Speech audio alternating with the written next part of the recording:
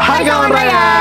Balik lagi di Explore Raya. Sama aku Dea. Dan aku Denis. Hari ini kita mau ngajakin kawan Raya untuk sama-sama merayakan Hari Kebangkitan Nasional. Karena Hari Kebangkitan Nasional identik sama perjuangan bangsa Indonesia, makanya kita mau ajakin kawan Raya semua ke museum bersejarah yang ada di Jakarta. Eits, tapi nggak cuma itu, karena dalam perjalanan ini kita akan memanfaatkan fitur cashless dari Bank Raya. Betul banget deh, untuk ke museumnya kita memanfaatin transportasi umum, maka dari itu kita harus top up e-wallet, top up e-walletnya pakai Bank Raya dong pastinya. Betul banget tuh. Ayo kita top up e-walletnya. Yuk, Ah, keren banget.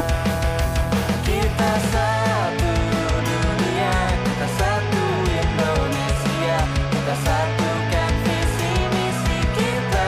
uh, udah deh. Cepet banget ya. Nah, kawan Raya kita udah berhasil nih top up e-walletnya. Hah, gampang banget, Den. Iya dong, Bank Raya. Bener banget. Ayo langsung kita ke museumnya yuk. Yuk, let's go. Hai kawan Raya, kita udah sampai di Museum Kebangkitan Nasional. Nah, kawan Raya pasti penasaran kan apa yang bakal kita lakuin di dalam Museum Kebangkitan Nasional. Tapi sebelum itu kita mau beli tiket masuknya dulu nih dan pastinya kita pakai kris dari Bank Raya. Betul banget. Penasaran kan? Yuk langsung aja ikutin kita. Ayo.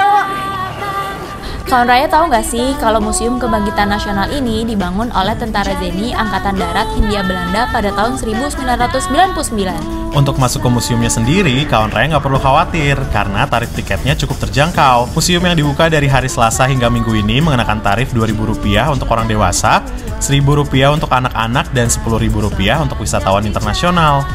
Untuk metode pembayarannya juga beragam loh, salah satunya menggunakan kris Bank Raya. Seperti yang kita pakai sekarang, mudah kan? Di dalam Museum Kebangkitan Nasional, kawan raya bisa melihat ragam pameran yang ada pada tujuh ruangan yang berbeda, dan keseluruhannya kental dengan perjuangan kebangkitan bangsa Indonesia pastinya. Hal menarik yang bisa kita temui dari Museum Kebangkitan Nasional lainnya, yaitu ciri khas bangunannya yang bergaya arsitektur neo-renaissance. Di museum ini sendiri terdapat ruangan pergerakan Budi Utomo loh. Hal ini menjadi daya tarik karena Budi Utomo menjadi organisasi yang memiliki peranan penting khususnya untuk kebangkitan nasional bagi pergerakan pemuda dalam banyak bidang seperti ekonomi, sosial, budaya, politik, dan sebagainya. Menarik bukan?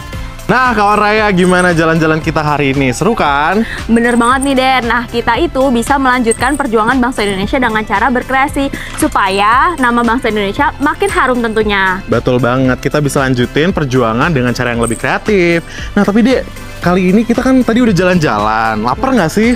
Duh lapar banget nih. Ayo kita cari makanan. Jangan lupa pakai kris Bank Raya tentunya. Yuk kawan Raya, let's Yuk. go!